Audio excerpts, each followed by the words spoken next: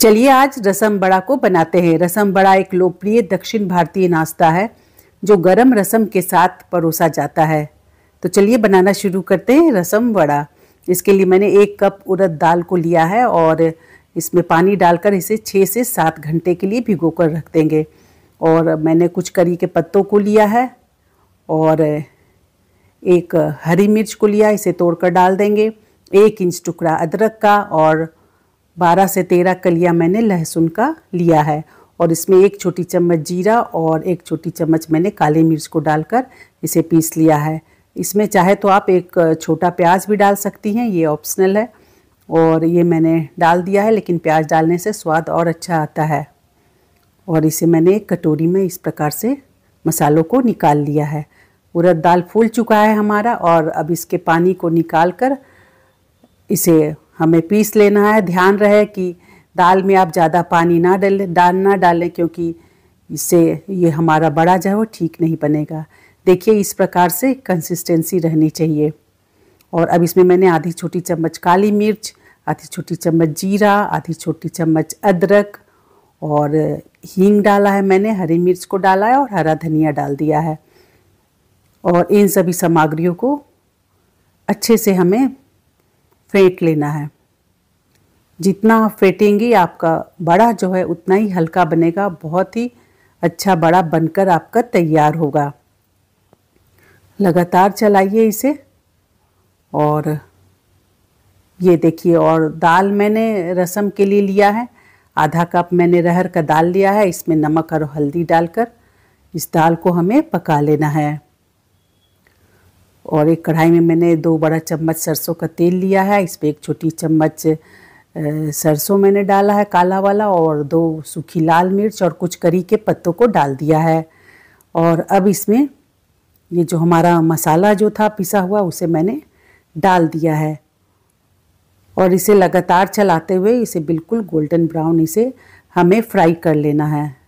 Fry हो चुका है और इसमें एक छोटी चम्मच धनिया, आधी छोटी चम्मच जीरा और ये मैंने सांभर मसाला एक छोटी चम्मच डाला है।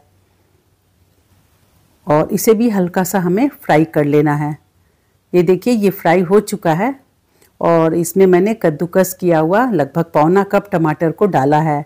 इसे मैंने कद्दूकस किया है और, अब मैं इसमें वन फोर्थ कप के लगभग इमली को डाल दूँगी। ये देखिए, ये इमली का पेस्ट डाला है मैंने। आप जितना खट्टा चाहती हैं, उसी हिसाब से इमली को डालें। एक छोटी चम्मच लाल मिर्च, एक छोटी चम्मच कश्मीरी लाल मिर्च, एक छोटी चम्मच हल्दी को डालकर अच्छे से मिला लेना है। ये देखिए, रसम का कितना अच्छा कलर आया है। देखने में जितना सुंदर है, खाने में भी उतना ही स्वादिष्ट लगता है। मैंने नमक डाल दिया है और हरा धनिया को भी इसमें मिला दिया है।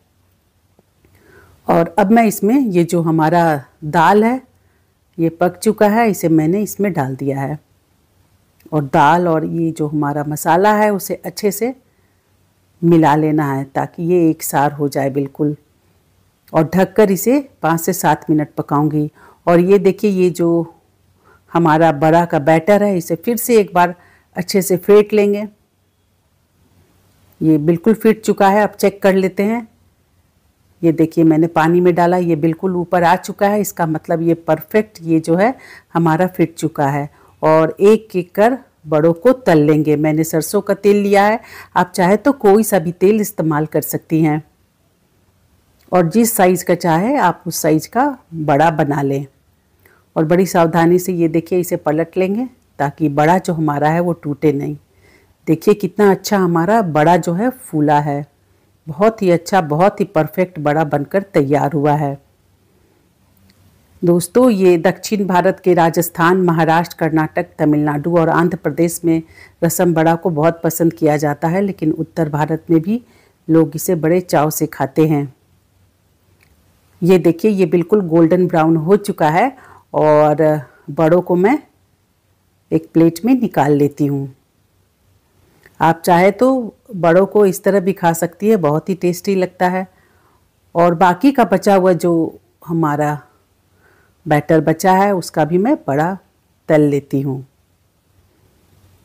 ये देखिए, फिर से ये कितना अच्छा फूल गया है और चम्मच की सहायता से मैंने इसे पलटा है ताकि ये टूटे नहीं। तो ये हमारा बड़ा जो है, वो बनकर बिल्कुल तैयार हो चुका है। और ये देखिए, इधर रसम भी हमारा बन चुका है। पाँच से सात मिनट में ये बिल्कुल ही अच्छे से पक चुका है। और, अब मैं इसे एक बड़े प्याले में निकाल लेती हूँ।